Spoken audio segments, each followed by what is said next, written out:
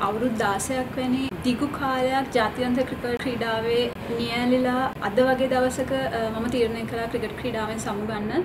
ඒකට විශේෂම හේතුවක් තමයි නවක ක්‍රීඩිකාවන් අවස්ථාව ලබා දෙමින් මගේ අධ්‍යාපන කටයුතු අ, සඳහා යොමු වෙන්න අපිට අ, අවස්ථාවක් එනවා කවදා හරි අපේ නවක ක්‍රීඩකයන් අවස්ථාව අ, ලබා දීලා අ, අපිට සමුගන්න වෙන. ඉතින් අ, මම හිතනවා අ, මේ අවස්ථාව තමයි මගේ හොඳම අවස්ථාව. ඉතින් මම තීරණය කළා අ, ජාත්‍යන්තර ක්‍රිකට් ක්‍රීඩාවට සමුදෙන්න.